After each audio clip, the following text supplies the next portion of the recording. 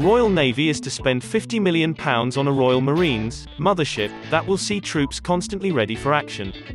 One of the three Bay-class logistics support vessels will be converted to act as an agile and lethal strike ship. An additional £40 million will be spent on developing the future commando force to make it ready to strike from the sea. Together, the plans will see more Royal Marines deploying around the world for long periods to respond rapidly, operate alongside our allies and partners to counter state threats. The Bay-class ship, which is capable of carrying up to 24 Challenger 2 tanks or 150 light trucks in 1,150 linear meters of space, with stern and side ramp access to the vehicle deck. The cargo capacity is equivalent of 200 tons of ammunition, or 24 20-foot equivalent unit containers. During normal conditions, a Bay-class ship can carry 400 soldiers, but this can be almost doubled to 700 in overload conditions. The flight deck is capable of handling helicopters up to the size of Chinooks, as well as Merlin helicopters and Osprey tiltrotor aircraft. There is no hangar for long-term embarkation of a helicopter, although a temporary shelter can be fitted to house a Merlin or smaller helicopter. The well dock can carry one LCU Mark 10 or two LCVPs, and two Mexeflotes can be suspended from the ship's flanks. Two 30-ton cranes are fitted between the superstructure and the flight deck. Internal passages are wide enough to allow two fully kitted Marines to pass each other, and will be fitted out with secure communications and converted to operate airborne, surface and underwater drones.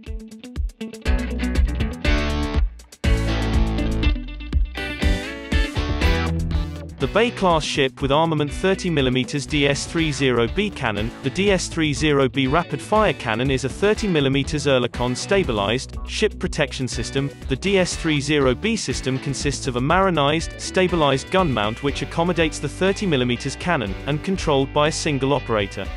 Phalanx Close-in Weapon System is a close-in weapon system for defense against incoming threats such as small boats, surface torpedoes, anti-ship missiles and helicopters.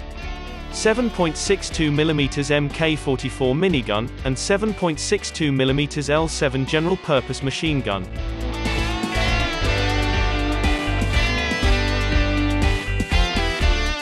Under the Royal Navy transformation plans the vessel, crewed by the Royal Fleet Auxiliary, the civilian adjunct to the Royal Navy, will act as a command and control mothership for Royal Marines operations.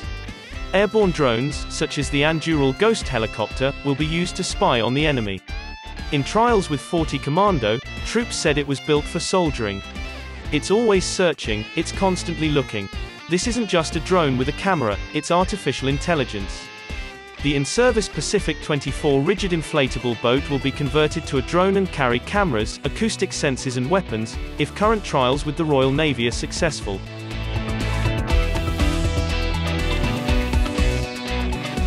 The new strike ship may also operate the extra-large uncrewed underwater vehicle, a 9-ton mini-submarine capable of surveillance missions. The extra-large uncrewed underwater vehicle can dive to over 300 meters, carry weapons and intelligence sensors.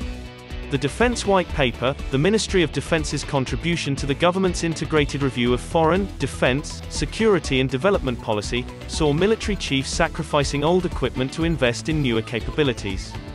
However, the decision to keep both 20,000-ton amphibious assault ships, HMS Albion and Bulwark, due to retire later this decade and augment them with a new global strike ship has been seen as a mandate to change by naval chiefs.